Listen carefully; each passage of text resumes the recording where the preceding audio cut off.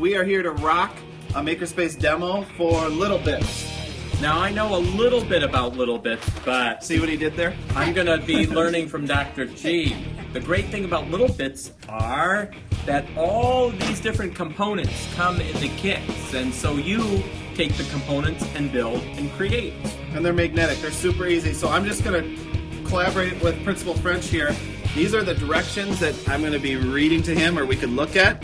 We're going to build a fan in, in 20 seconds. So, Principal French, you want to connect your battery to the. I have the battery. Okay, I'm connecting that. good. And then we go to the pink button.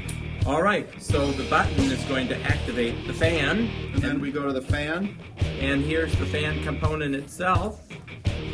And then if, if we did it right, it should turn on when you hit the button. So uh, I turn the button on, and the fan, Whoa! it's working. Turn that thing down. Oh! Woo! Victory. You can build anything. There's lots of ideas in here, but you can invent your own stuff. There's motors, wheels, lights. You can create any sort of contraption. You can follow the directions or create something on your own. And I invented this myself, Principal French. You are gonna love this. I Let's think. see. Or maybe you won't love it. See if you can guess what I made.